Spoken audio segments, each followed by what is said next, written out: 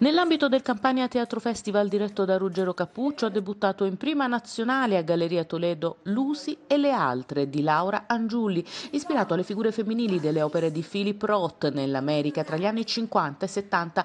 Tre protagoniste emergono da tre opere di narrativa dello scrittore statunitense, prendendo forma in uno scenario di straordinaria virulenza emotiva e retorica. Sentiamo la regista Laura Angiulli che ci accompagna in un viaggio scenico accattivante. Devo dire che è stato un piccolo combattimento, perché veramente però è un autore con, insomma, diciamo, secondo me è un autore di una ricchezza talmente mh, strepitosa, insomma, diciamo, che è anche difficile poi non riuscirci.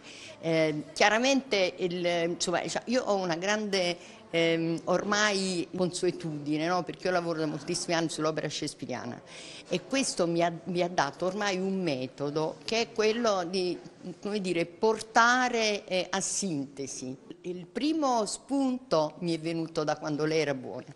Questa, questa, figura ecco, di tipo veramente shakespeariano, cioè questa, questa giovanissima donna che muore cioè eh, porta avanti eh, la sua indignazione e la sua incapacità di accettazione di una realtà eh, diciamo non rispondente poi ehm, diciamo, alla completezza di un progetto di vita eh, che sia anche sostenuto da un'etica e, e, quindi e, e da, dalla serenità della giovinezza perché è un personaggio molto giovane ehm, e, e si lascia andare in questa strenua resistenza fino alla morte.